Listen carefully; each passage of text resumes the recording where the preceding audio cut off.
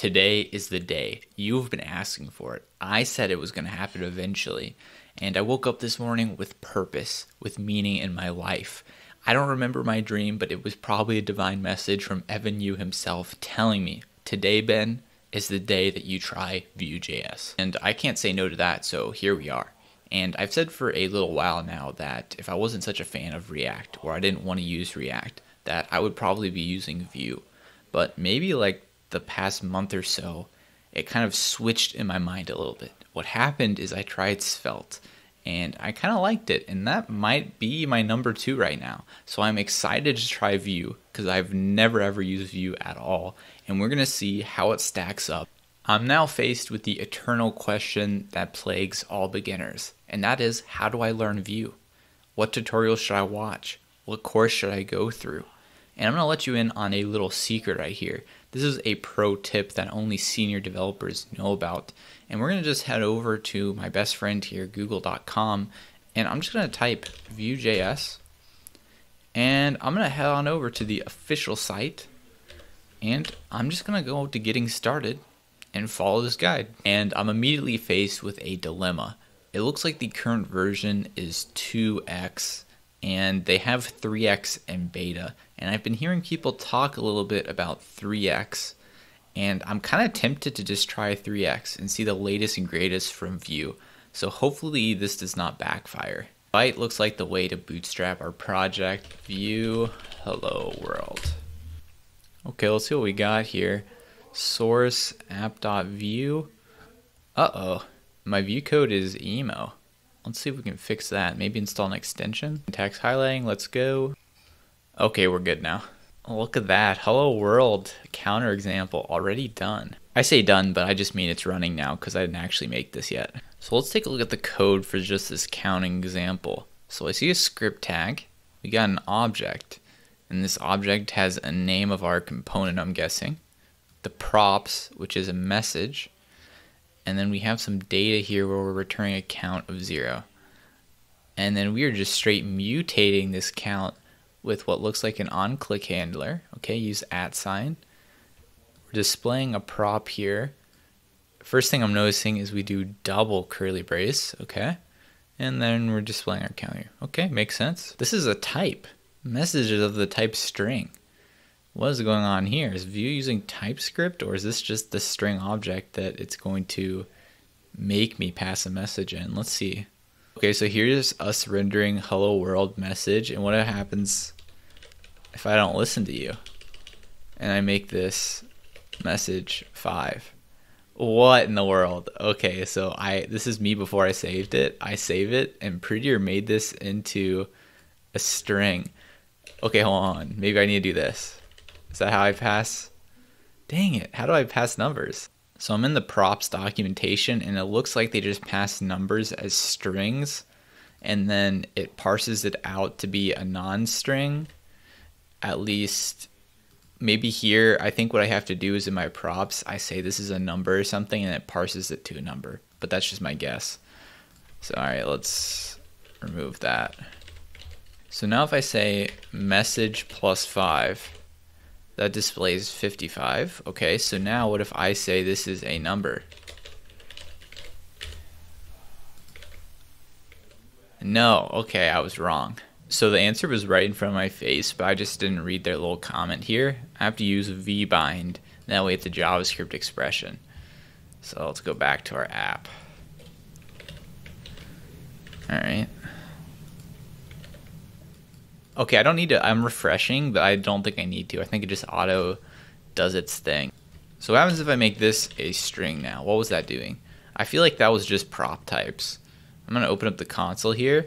Yeah, okay, that's just their version of prop types. Invalid prop, gotcha. Okay, so that's useless. Okay, okay, two-way binding, not bad, not bad. It's easy to toggle the presence of an element too. If seen v-if Oh, does it handle the null case for you? Let's go. Easy peasy. We're now doing for loops, v-for. Why am I coding everything with strings? This feels weird. So what I'm wondering now is with this, if I integrate their TypeScript support, because I know you can use TypeScript with Vue, at least I think you can. Is how much like IntelliSense and stuff can we get with these weird string things. Add script lang ts, and I have to get the Vetur extension define component. Okay, so now we got some language support things. Got some linting. We, I don't have a to-do.id. Okay, that allows it. I wonder if there's something else I have to config for that. So I made it to the end of the TypeScript docs, and I didn't see anything about types for in the HTML bit up here. I only saw stuff within the defined component, which makes me kind of sad if they don't have it, but I'm guessing I just probably missed it somewhere. Let's go to our handy dandy Google friend, Vue TypeScript HTML part. So I spent a whole two minutes Googling this and I'm not seeing anything. So hopefully there is a Vue expert watching this video that may know how to do this. Otherwise, I'm just going to have to live my life with 80% TypeScript support and maybe that's okay, but it just makes me like a little bit sad. All right, I think it's time for us to try making our own to-do list. And we'll use our v-model and we're connecting it to text and bam, we already have our form done. Now we just push on this dot text and this is going to be an object.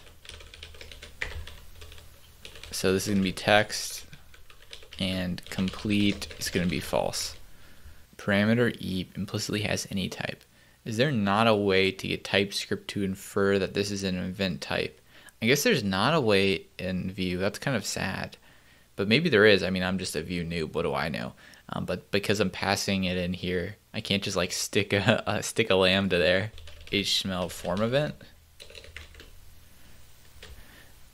And so here's the thing. In types in React, how I would figure this out is I would hover over the handler, and the handler would tell me what the param type is. But I don't know how to do that in Vue. I don't know what this type is. Well, I know what this type is now. Some vanilla CSS, haven't seen that in a while. I'm just typing the word class. Feels very weird. Feels very weird that that's not there. App4 does not work, even though it doesn't error out. But of course it doesn't error out because that works as well. And it doesn't do TypeScript checking, but I forgot about that stuff. So I was just like, you know what? It's not mad at me. Of course it's okay. Okay, let's go back to correct syntax now to do dot complete is equal to not to do dot complete. Nice, it actually works. I like writing stuff like that. Okay, that syntax is actually kind of nifty. So I guess if this variable is true, it shows a class called active. Bam. Piece of cake. What I've heard is really nice in Vue is their state management. So I want to try Vuex next. So let's hop on over to the docs information for React developers. Hey, that's me. So you may be wondering how Vuex compares to Redux. You know what? I am wondering that. How does it compare? Redux is actually view layer agnostic. Vuex is different. It knows that it's in a Vue app. This allows it to better integrate with Vue, offering a more intuitive API and improved development experience. Shots fired at Redux, but I'm glad it's more intuitive and a cleaner API. Let's see it. I started doing the Vuex getting started, and I copied this from their docs, and I tried importing use from Vue, and it didn't exist for some reason. I hovered over it, it says no exported member, so I was like, huh, that's weird. I'll just go Google it. And I figured it had to do something to do with Vue 3 because I'm using the beta or something, right? And I see all these articles talking about how you might not need Vuex with Vue 3. And I was like, hmm, you know what? This sounds really familiar. I'm like, when React Context come out, all the articles are like, do you still need to use Redux with React Context? And they're going through the same thing in Vue 3, so I thought that was kind of funny. So anyway, I'm ditching Vuex. I'm just going to use the cool Vue 3 reactive stuff. This reminds me of MobX, but kind of even cleaner than MobX because you don't have to wrap your components in like observer things. So you can create reactive variables like MobX or create reactive store things. And then I just pass the source of truth object to my Vue components, return it here. This is my first component.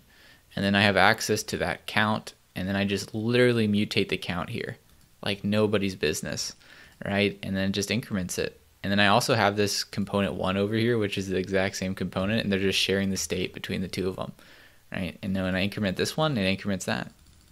That's pretty dope. That was actually like zero boilerplate whatsoever to like access this. I really like that. Okay, that's probably enough Vue.js for one day.